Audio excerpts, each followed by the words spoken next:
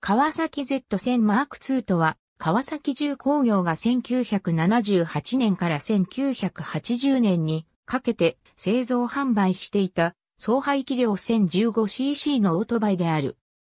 1972年の発売以来4年続いた Z1、Z900 は Z900A4 では環境対策化され、Z1000A1 では排気量も1リッターに拡大された。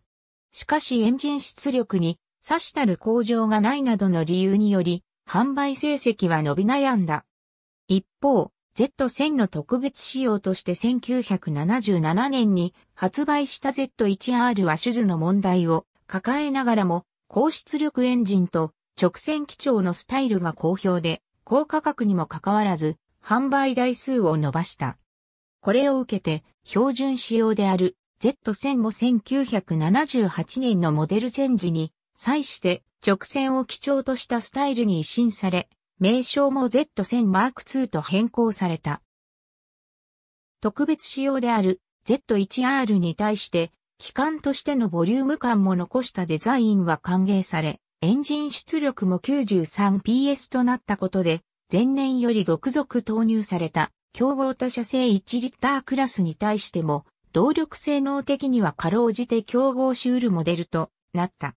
Z1000 M2 は2年間販売されたが、モデル末期には、性能向上の著しい競合他社の後人を排する機会が再び増えることとなった。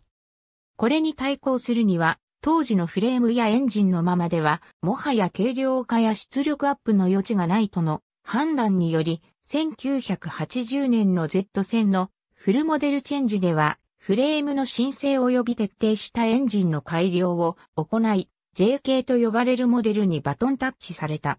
これにより Z1000 M2 は多くの伝説を生んだ Z1 直径の決闘を締めくくる車両となった。Z1000 M2 と同時期にエンジン及び基本フレームを共有している。ありがとうございます。